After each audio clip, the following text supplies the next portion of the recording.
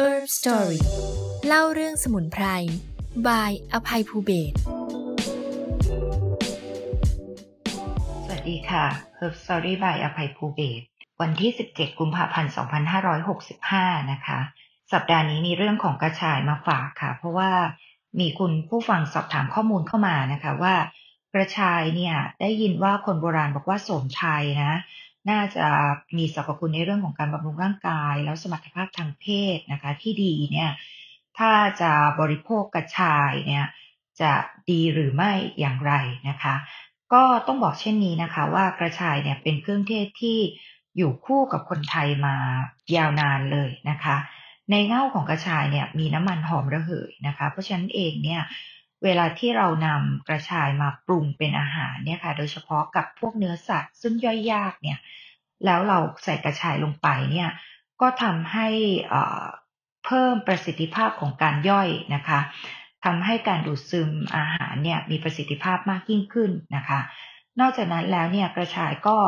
มีวิตามินนะคะที่หลากหลายทั้งวิตามิน A B12 ธาตุเหล็กแล้วก็แคลเซียม โดยเฉพาะแคลเซียมเนี่ยค่ะก็พบว่ากระชายเป็นแหล่งของแคลเซียมนะคะอยู่ประมาณ 2-3% ของปริมาณแคลเซียมที่ร่างกายต้องการต่อวันนะคะ แต่ต้องบอกคุณผู้ฟังที่รับประทานน้ำปั่นกระชายอยู่ในขณะนี้ค่ะว่า การบริโภคในรูปแบบนี้ก็เป็นประโยชน์นะคะ แต่ว่าต้องทราบอย่างหนึ่งว่าแคลเซียมเนี่ยไม่ละลายน้ำถ้าดื่มน้ำกระชายแล้วคาดหวังจะได้รับแคลเซียมด้วย อันนี้ก็เป็นไปได้ยากนะคะ ถ้าต้องการได้แคลเซียมก็ต้องกินเนื้อเข้าไปด้วยค่ะ ทีนี้ถ้าเปรียบเทียบกระชายกับ กระชายดำที่มีการศึกษาวิจัยเนี่ยก็ในแง่การใช้ตามองค์ความรู้ดั้งเดิมเนี่ยคนไทยทุกภูมิภาคเนี่ยเราใช้กระชาย กระชายเหลืองหรือกระชายแกงเนี่ยกว้างกว่างมากกว่ากระชายดำนะคะ เพราะว่าเป็นอาหารที่คนไทยรู้จักกันดีนะคะ หมอยาพื้นบ้านเนี่ยมักจะนำเง่าของกระชายนะคะมารักษาแผลในปากนะคะ ซึ่งตรงนี้เองเนี่ยอภัยภูเบศก็ นำมาใช้เป็นส่วนผสมของยาสีฟันนะคะ แล้วเราก็ไปศึกษาก็พบว่าการใส่สารสกัดกระชายในยาสีฟันเนี่ยมีฤทธิ์ทำให้ฤทธิ์ต้านแบคทีเรีย ที่เป็นสาเหตุของฟันผุเนี่ยดีเมื่อเทียบกับไม่ใส่นะคะ นอกจากนั้นแล้วเนี่ยกระชายก็มีการบันทึกนะคะว่าใช้แก้โรคไซนัสแก้จมูกไม่ได้กลิ่นนะคะ อันนี้ก็เป็นจุดเริ่มต้นของการศึกษาวิจัยกระชายในโรคโควิดของอภัยภูเบศเช่นเดียวกันนะคะ มีการใช้ในการแก้ท้องอืดท้องเฟ้อรักษาแผลในกระเพาะ แก้ฟกช้ำทำให้เลือดไหลเวียนดี แล้วก็เชื่อกันว่าสมุนไพรกระชายเนี่ยนะคะ ก็คือสมไทยที่ใช้ทั้งในแรกของการบำรุงร่างกาย แล้วก็บำรุงสมรรถภาพทางเพศนะคะจากที่เก็บรวบรวมความรู้ภูมิปัญญาดั้งเดิมเนี่ยหมอยาก็จะบอกว่า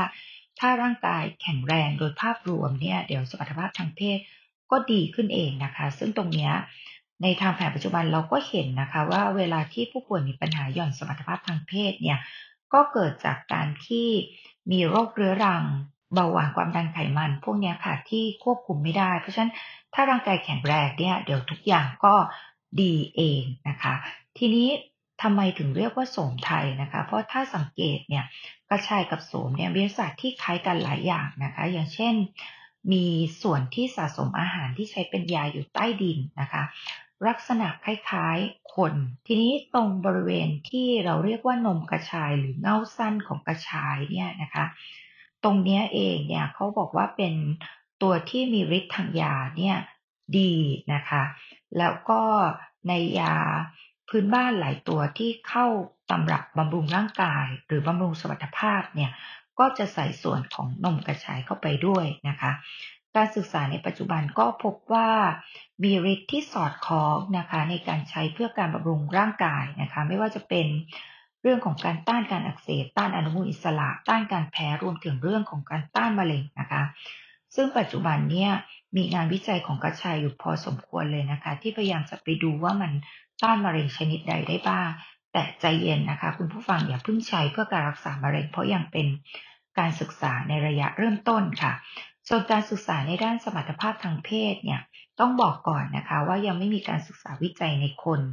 แต่ว่าก็ดูมีแนวโน้มที่ดีไปในทางเดียวกัน มีการศึกษาอยู่ในหลายประเทศนะคะ หลักๆก็เป็นประเทศไทยแล้วก็อินโดนีเซีย ซึ่งมีตำรับยาโบราณที่เรียกว่าจามู แล้วก็ในตำรับจามูเนี่ยก็มีกระชายเป็นส่วนผสมอยู่ในหลายตำรับทีเดียวนะคะ การศึกษาเขาก็พบว่าสารสกัดจากทุกส่วนของกระชายเนี่ยมีฤทธิ์กระตุ้นกำหนัดนะคะ การป้อนสารสกัดจากเง่ากระชายเนี่ยในหนูเนี่ยนะคะก็ช่วยเพิ่มขนาดของ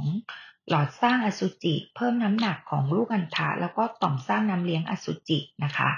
แต่ก็ไม่พบว่ากระชายมีผลต่อระดับของฮอร์โมนเทสโทสเตอโรนนะคะและแอนโดรสตีนี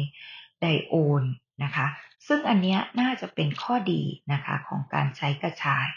นอกจากนั้นก็พบว่ากระชายเนี่ยออกฤทธิ์เช่นเดียวกับยาซิลเดนาฟิลหรือที่มีชื่อการค้าว่าไวอักรานะคะก็คือไปยับยั้งการออกฤทธิ์ของฟอสโฟไดเอสเตอเรสทำให้หลอดเลือดขยายตัวนะคะ เลือดไหลเวียนดีขึ้น ซึ่งตรงนี้เองเนี่ยก็ยังมีการศึกษาเพิ่มเติมนะคะว่าตัวน้ำคั้นสดกระชายเนี่ย ช่วยทำให้สเปิร์มเนี่ยมีคุณภาพดีขึ้นนะคะ โดยเฉพาะในหนูที่เข้าสู่วัยเจริญพันธุ์เนี่ยก็ทำให้จำนวนสเปิร์มเนี่ยนะคะที่มันมีรูปร่างผิดปกติเนี่ยลดน้อยลง แล้วก็ทำให้สเปิร์มเคลื่อนไหวดีขึ้น ซึ่งก็สอดคล้องกับการศึกษาในอินโดนีเซียด้วยนะคะ ดังนั้นก็อาจกล่าวได้ว่าการใช้กระชายในรูปแบบของอาหาร กินให้ ร่างกายมีความแข็งแรงเนี่ยก็จะทำให้สมรรถภาพร่างกายมีความแข็งแรงไปด้วยนะคะ แต่อย่างไรก็ตามการบริโภคกระชายในปริมาณสูงๆก็ยังต้องมีความระมัดระวังนะคะ โดยเฉพาะในผู้ป่วยกลุ่มที่เรียกว่ามีความเปราะบาง ไม่ว่าจะเป็นผู้สูงอายุที่ใช้ยาหลาย ๆ ชนิดนะคะ หรือคนที่มีถุงน้ำดี อุดตัน หญิงตั้งครรภ์แล้วก็ให้นมบุตรรวมทั้ง ในเด็กด้วยนะคะ หากมี